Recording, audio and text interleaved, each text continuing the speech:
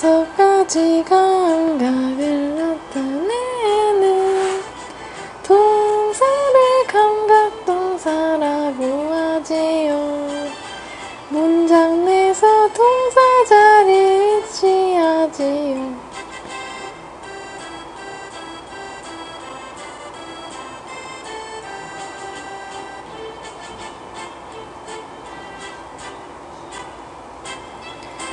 룩, 사운드, 필, 테이스트, 스멜까지.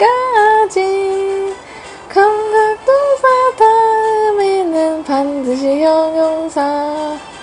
유룩해 필리는 잘못된 문장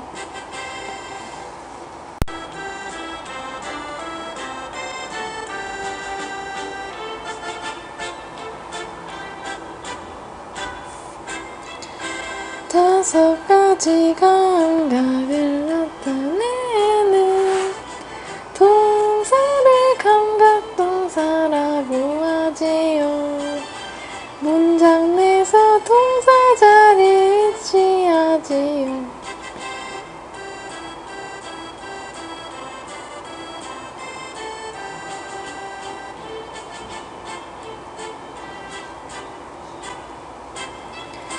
Looks on the feel taste to smell까지 감각도사 다음에는 반드시 형용사 You look happy는 잘못된 문장